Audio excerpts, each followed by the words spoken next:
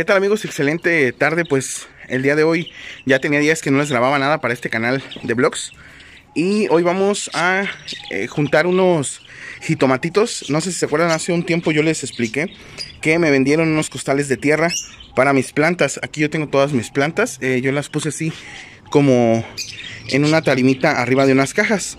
Entonces eh, todo esto yo les estuve poniendo tierra de la nueva y esa tierra pues nacieron unas matitas. Entonces yo empecé a quitarlas, a quitarlas y un día mi papá me dijo que eran jitomates y yo no creía que fueran a ser jitomates eh, de la nada. Pues miren, ahí están, pero son jitomate del cherry, jitomate de invernadero, pero de este pequeñito, de ese jitomatito que venden en los clanch, en las cajitas. Y bueno, el día de hoy tengo, pero muchísimos, hay muchísimo maduro, así es que lo vamos a hacer ahorita cortadero de este de este tomatito para ver si hacemos una salsa en estos días. Y también tengo demasiado chile. Eh, este chile es como el chiltepic, pero creo que le llaman mirasol.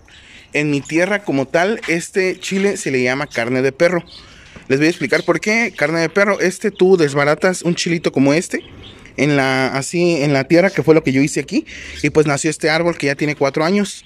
Aquel tiene apenas un año. Este y vean ya qué tamaño tiene. Entonces, este, ahorita vamos a hacer corte de los chilitos y de los jitomates. Miren, este ya está también punteando eh, rojito, pero por acá ya hay, mira. Por acá ya tenemos rojo. Entonces, este, eh, lo que yo hago con este tomate, miren, incluso acá abajo también se vinieron unos, acá para abajo, no sé si se alcanza a ver ahí.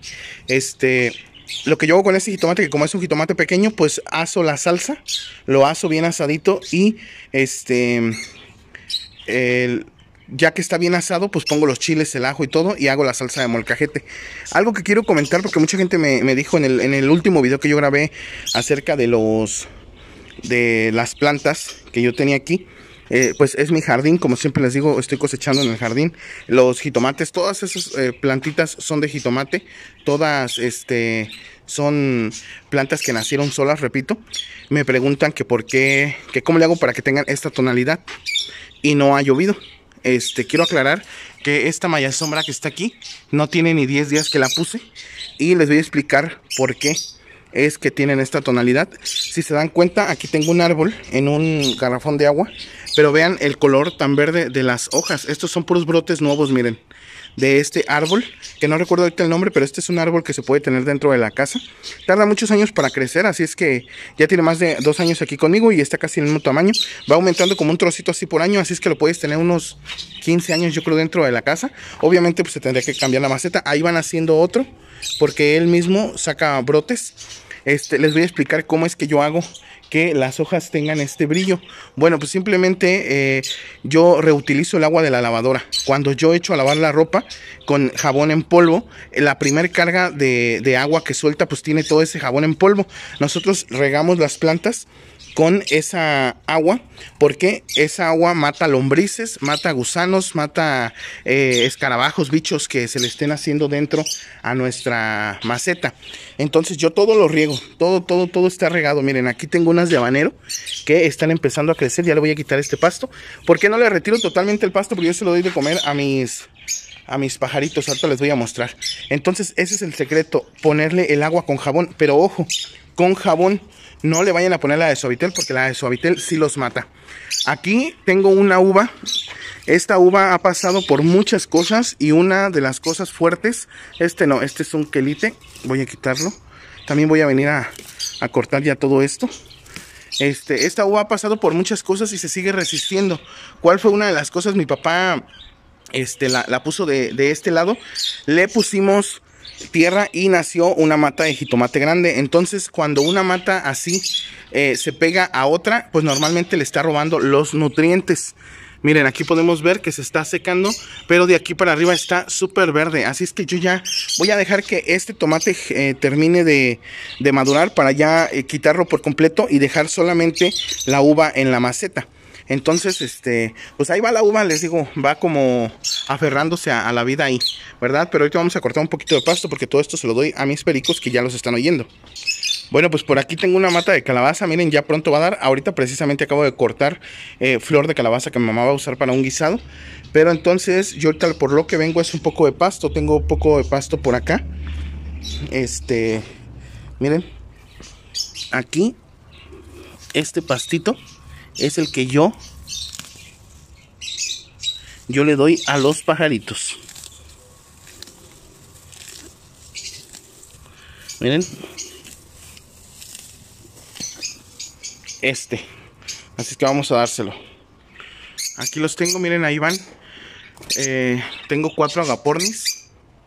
Aquí están, así es que vamos a abrir la jaula para poder ponerles el pastito. Vamos a ver si podemos grabarlos.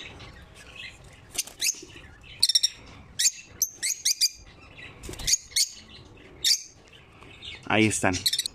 Y aquí tengo cuatro canarios. Son dos hembras y dos machos.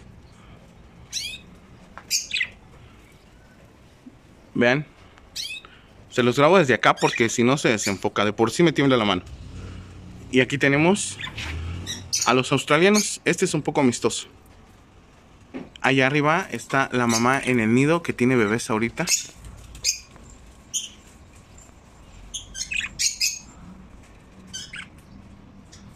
Creo que se alcanza a ver por ahí.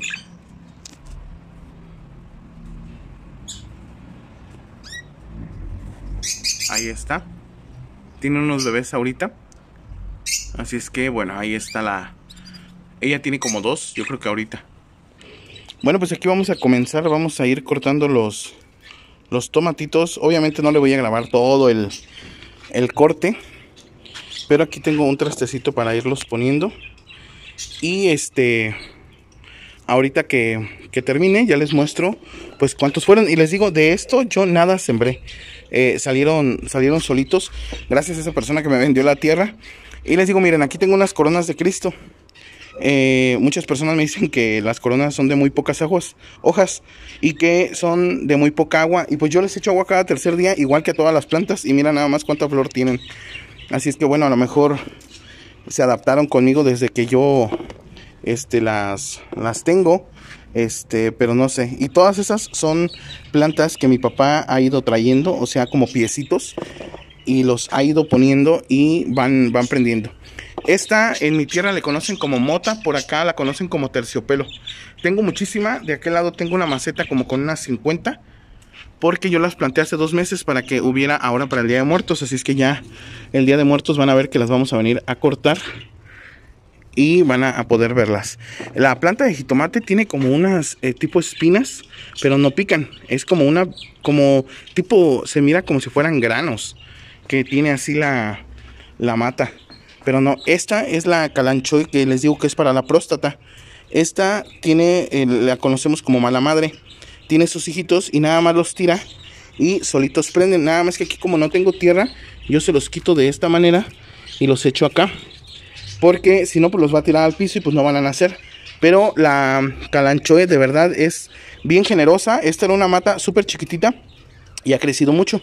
Si alguien es de por aquí de Celaya, este quiere, yo le puedo regalar. Tengo muchísimas.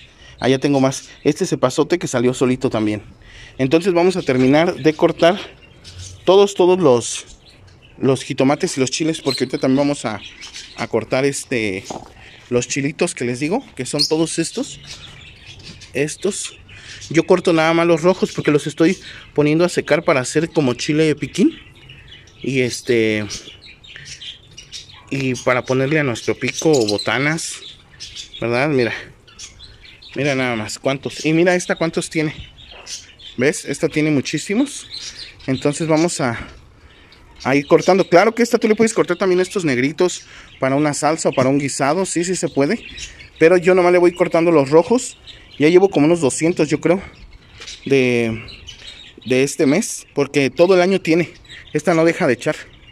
Esta se me cayó uno, mira. Aquí está. Entonces vamos a terminar y regresamos. Bueno amigos, pues miren. Estos eh, son los que han salido ahorita. Y les digo ya después de unos 3 días de corte. Porque diario amanecen así. Este puño. De unos 3 días de corte es que yo hago la salsa. Pero los chilitos sí los dejo para irlos secando. Y les digo, esta es la, mota o la terciopelo, no sé cómo le conozcan ustedes. Creo que normalmente en México se le conoce como terciopelo. Eh, pero yo eh, se le conoce como mota allá en mi, tierra, en Michoacán. Y por cierto, esta en 15 días más o menos, eh, más o menos en primeros de octubre, ya casi toda va a estar toda roja para poder cosecharla a finales de octubre para lo que son todos santos. Y aquí arriba pues tengo otra calabaza que se está subiendo. Vean. Y pues eso es lo que está aquí en el, en el jardín, amigos. Y pues bueno, aquí nos vamos a despedir ya. Esto era lo que yo quería que ustedes vieran, que en el jardín, ustedes en, en su patio pueden tener muchas, muchas plantas. Incluso tengo hasta un nopal, mira que no venía a cortarle. Este nopal ya puedo cortar este todo completo para poder... Uh, ponerlo en otra maceta y siga dando. Estos ya estaban tiernitos y creo que ya están sazonando. Mira. O sea, poniéndose sazones ya, ya más viejones. Y pues bueno, eh, tengo mucha sábila también. Y les digo, ahí ya les pasé mi tip de el agua con jabón para sus plantas. Vean nada más qué color de hoja. Mira, le voy a quitar el enfoque para que ustedes lo puedan ver bien. Vean el color de esta hoja. Vean el color de esta. Y esto es gracias al jabón. ¿Ok? Entonces me despido, que tengan una excelente tarde. Dios los bendiga y nos vemos en la próxima.